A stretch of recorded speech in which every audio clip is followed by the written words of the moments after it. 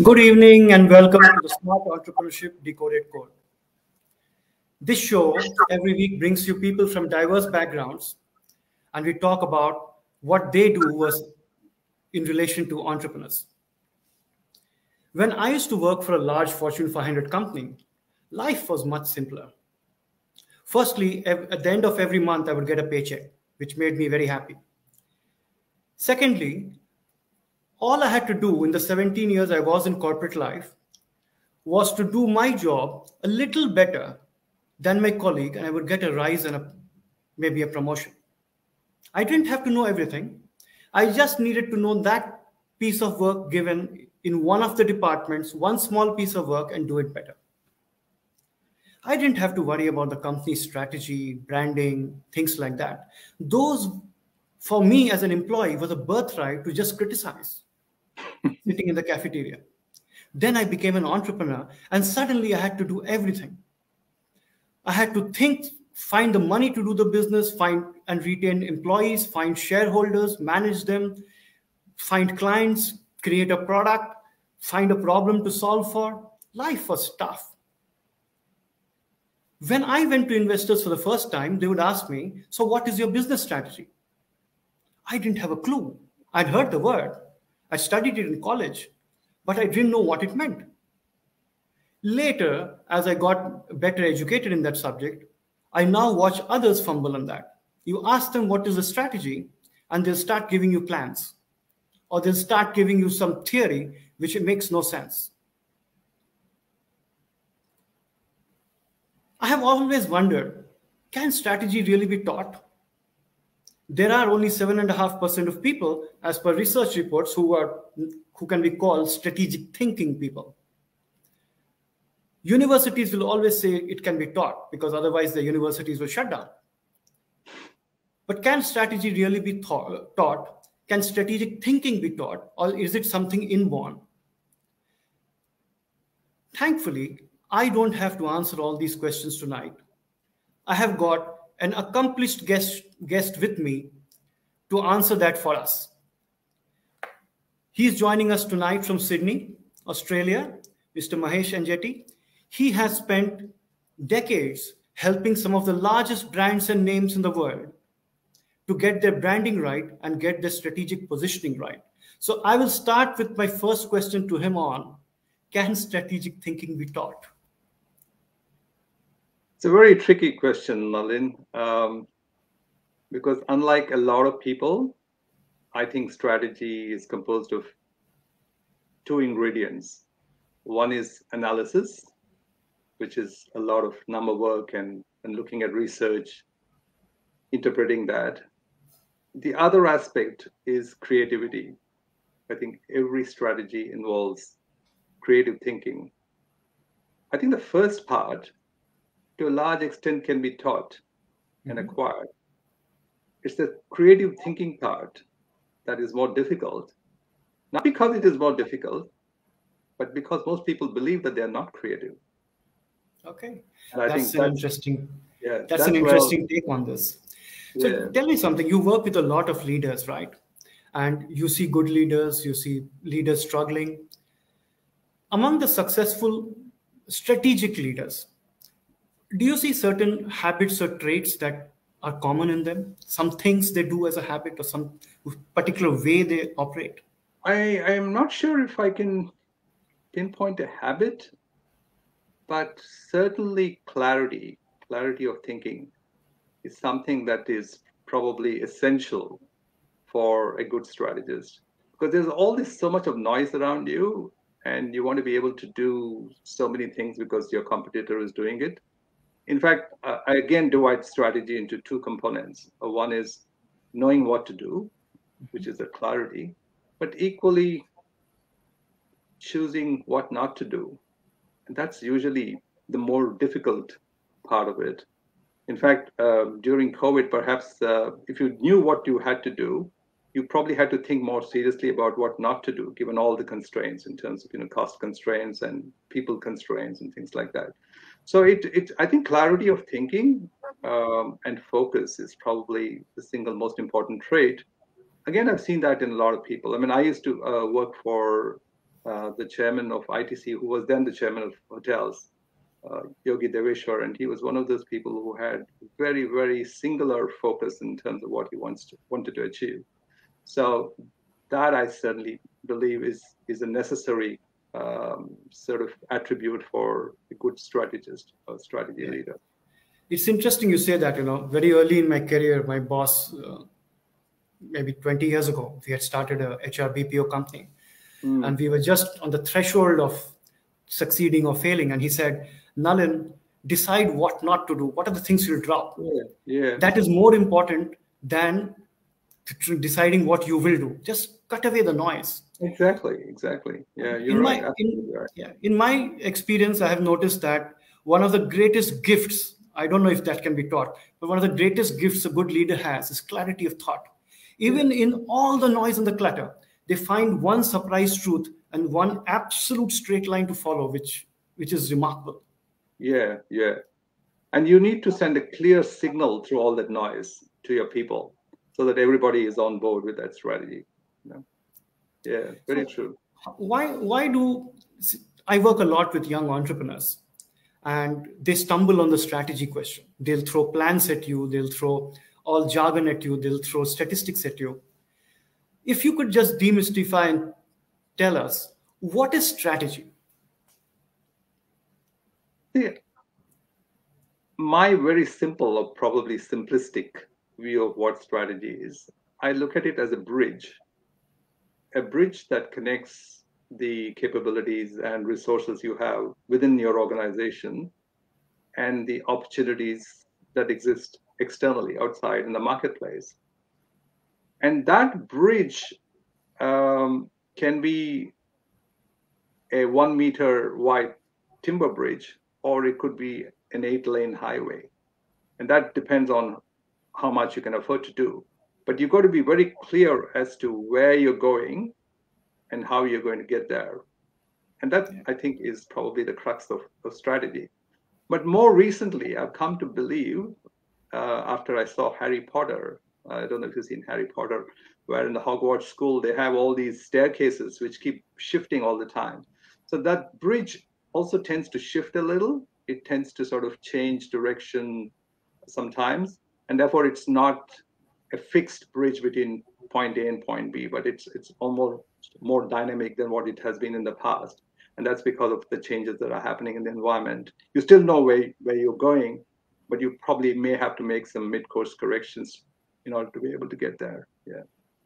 So that that would be my simple definition of strategy. That's that's a that's a quite an interesting one, especially the changing part of it. And I'll delve in that a bit more in a moment for a lot of uh, young startups, there's a huge failure rate. But leaving aside the failure rates, whatever it is, the ones who do survive the first two, three years, there is a very high stagnation rate in them. A lot of them tend to stagnate. And that is where. When you say stagnate, you mean not being able to scale up or? They don't scale up. They don't yeah. scale up. And very often, investors are advising them that your strategy is not clear you don't have a strategy. And the entrepreneur is thinking how did i get till here? Is that a time they need uh, external help just to get perspective or do more of the same thing? I think i mean again this is probably a very simplistic explanation. When you launch a product as, as a startup you obviously identified a problem and you have come up with a solution for the problem. So the people who already have that problem would be your early adopters and they your the majority or whatever. After some time, I don't think startups invest as much of time, effort, dollars in terms of making people aware of that need, of that problem, and the fact that the solution they have is able to sort of overcome that problem.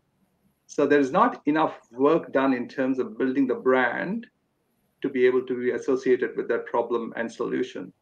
And that's why after some time it tends to stagnate, you plateau and you don't because you have to invest, even as a startup, you need to invest in the brand. And I don't think very many startups do that. That's probably the reason why they sort of run into this kind of a impasse. Yeah, some of it is you know because uh, popular culture and media tends to glorify that hmm. garage startup, etc. Oh yeah. Especially in countries like India, etc. I tell them, at least he had has a garage. You don't even have a car. So yeah. if he started from a garage, at least he had a garage, and that garage was in America. or people say this guy was a school dropout, and I say yeah. he went to Wharton and dropped out. He didn't yeah. go to your local university and drop out. So there are these common myths, perceptions, biases, etc. And I agree with your point about not thinking through branding, uh, brand value, and uh, strategy. But for an uh, for an entrepreneur, what they are doing a lot of stuff, right? They have to really balance a lot of things. At what point should they think, say, 80% on strategy and brand value? Is it at the start, before they start? Is it in between? Or is it just a continuous process? I would probably be a little biased, being being a brand strategist. Um, I would say it has to begin at the very beginning. At the very beginning.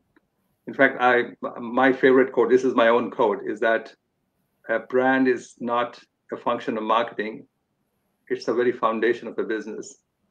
I think uh, if you know what your the problem you're trying to solve and the solution for it, that's where the brand starts. And to leave branding until much later would I think be the reason why we have some of those startups actually stagnating.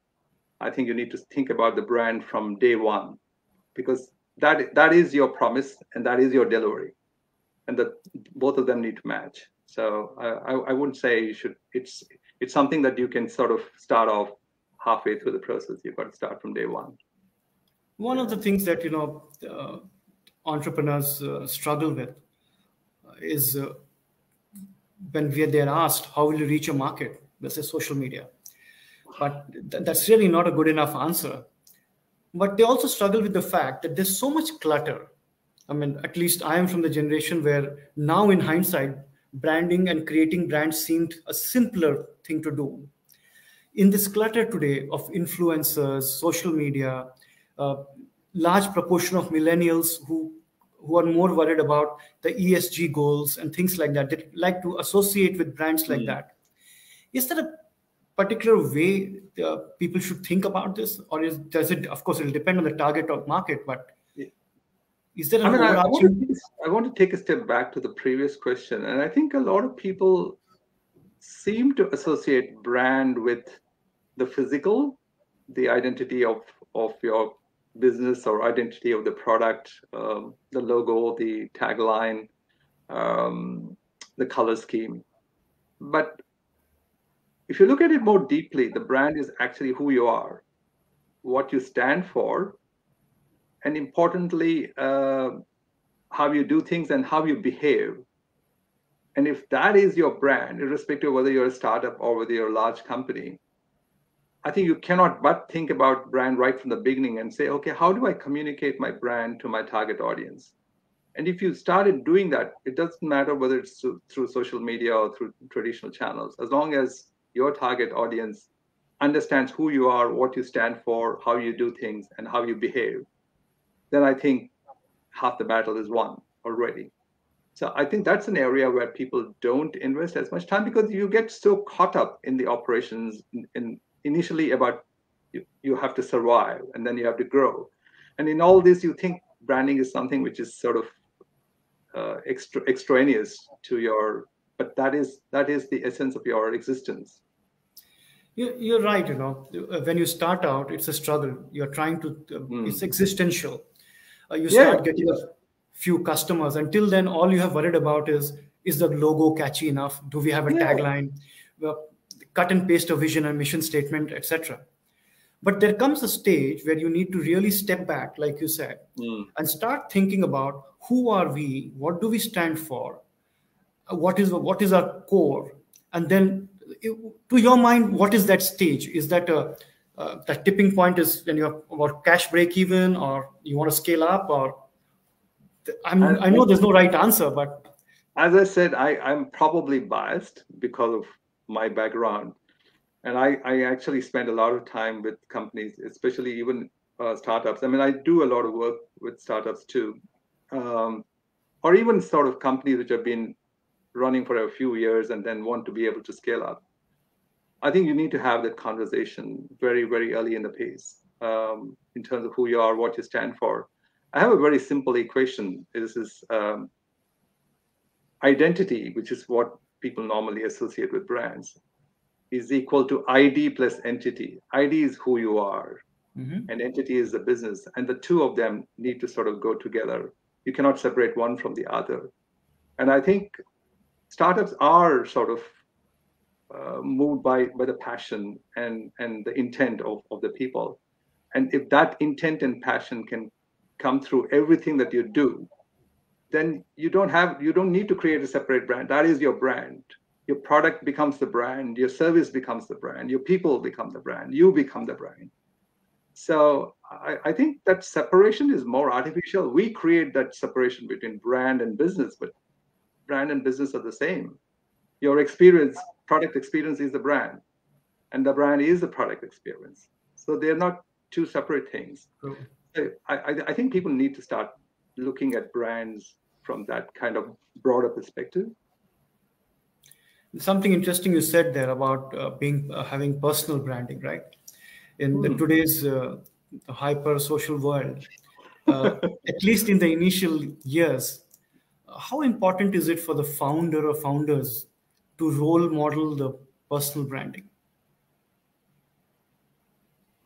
I mean, I again, I think we sometimes tend to overplay the importance of personality, um, language competence, your diction, um, more than the substance. And and, and I, I think that's probably almost inevitable. People tend to like people say the first 30 seconds or 20 seconds of an interview uh, the interviewer makes up their mind about whether they like you or don't uh, like you I mean, which is which is unfortunate but that's the way the world i think it's if you're really convincing and compelling in terms of what how you present it doesn't really matter whether you the, the personal brand again comes from the experience. And I think, and this is what I, I, I actually published a book, a mini book of five years ago on brands. Um, it, it, it, looks at brands from a business lens, not a marketing lens.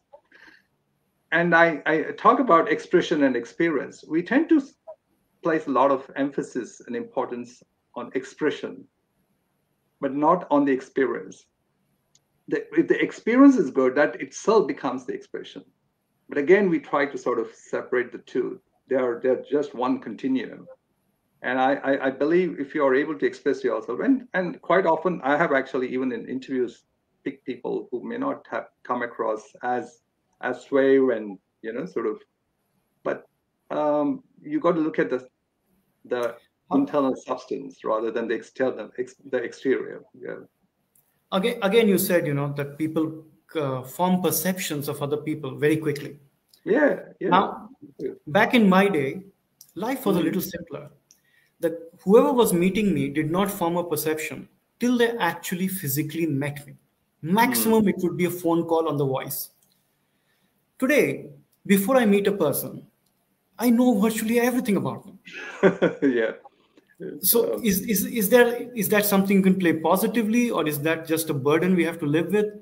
because before you meet somebody they formed all kinds of perceptions i think it can it can have both positive and negative impact uh, and i think sometimes we probably tend to place too much emphasis on what we see on on social media even even including linkedin i mean I, I would probably check you out on linkedin and you would have checked me out on on linkedin and we tend to form opinions in fact there was one once i was making a presentation to the Architects Association of Australia. And I said, look, you all would have made some, you would have had some impression of who I am before you saw me. Uh, because there would have been a blurb about about who is the speaker. But the impression you take away is after I have interacted with you. That's what leaves a lasting impression. And I think we need to let people to be able to interact with us before we form our opinions. We tend to look at people's images, what other people have said and tend to which is probably the downside of social media i mean i, I think it's it sort of sometimes tends to magnify that that initial impression and perhaps unfavorably quite often sometimes maybe favorably too but more often than not unfavorably which i think is is sort of uh, we live in a very very different world today to when we you know you and i grew up a long time so, of course i'm much older than you are i suppose on a, on a lighter note, uh, often after seeing somebody on LinkedIn and their picture, and when I meet them in person, I have to figure out if it's the same person because the picture on LinkedIn is so photoshopped and so nicely put there. I didn't have a beard, I think, in my LinkedIn picture, and now sporting a beard. Yeah, it's just uh, COVID and not being able to go to a barber, even not getting my hair cut, you know. So it will be fascinating to hear from you. Uh, a successful and an unsuccessful story around branding that you have experienced? Oh my God, that is so vast. I mean, amazing the number of brands I may have touched. Maybe a few hundreds at least, I, I would think. Um, Any one that was uh, close I, I to have, I have some favorites. Uh, it's it's strange that, and they come from different sectors. They come from tourism. They come from beauty. They come from um, accessories for children. So if I were to pick one, I mean, in terms of challenge, there was one one project that I did for Tourism Australia probably 12 years ago. Was actually branding a volcano that has been dormant for 23 million years. And, wow. and make a dormant volcano a living brand. And that was a really challenging project. In fact, two days ago on ABC TV, that that region was was actually showcased as part of a program, Back to Nature or something like that. That was a very challenging. Uh, it was challenging not just because of of that, the fact that I had to uh, bring to life a dormant volcano, which is now not a volcano, but it is actually a rainforest. But the fact that there were 12 stakeholders, and branding is such a such a subjective area that everybody has very strong likes and dislikes and to get that diversity of people to reach consensus on what the brand should be was almost an impossible task and to bring it off i mean i'm really really sort of fortunate having having done that um, there is a very small island uh, of you must have heard of norfolk island which is sort of yes. between New Zealand and uh, New Caledonia. Yeah. And it's an island which is just three miles by five miles, five kilometers by eight kilometers. And I sort of branded it as, as a world in itself where people could go and spend seven days, you know. So that was another challenging project. But then there was a beauty uh, product out, out of uh, Ghana, this entrepreneur who started a beauty brand uh, for dark skin people that was an amazing project too. I mean, there's so many projects I really, really like. Do you want me? What aspects do you want me to talk about? So, that... let's so let's uh, talk look at it differently. So when you work with all these people, it's not mm. as if you tell them what to do and they get it immediately. No, is, no, no. What is that? No. What is that one barrier that you have to really get past? The two. I think if I were to advise somebody, a youngster who's in, in, in this business, I think we all tend to get so fixated on the brand. We want to create this brand, present it to the client, ask them whether they they like it. I think that's the wrong way to do it. The f- first, the fundamental thing you need to do is get people to agree on the strategy. What should, who are you trying to reach? What is it that you're trying to communicate? once you sort of get agreement on the strategy, then create a brand and ask people, is this on strategy or not? People would be less subjective when you ask them whether this is on strategy or not, but whether you, you, you show them a brand for whatever in whatever form, logo, colors, lettering, typeface, whatever, they tend to sort of get obsessed with the physicality of it, but not the underlying strategy that goes behind it. So get people to agree on the strategy and then ask, present the brand to them and say, is this on strategy or not on strategy? If it's not on strategy, go back to the drawing board. But once they say it's on strategy, it doesn't matter whether they have specific likes and dislikes about it, because everybody would like something and dislike something else. And that liking and disliking that is actually a good thing for the brand because it creates sharp edges. So it's not a neutral brand that everybody says, oh, it's okay.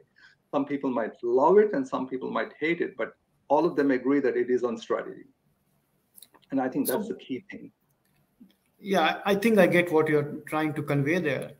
When when leadership teams work and the company is like a river flowing through at fast pace, mm. uh, conversations like this, do you think they can actually happen in the office, or you need to really step out from the daily humdrum?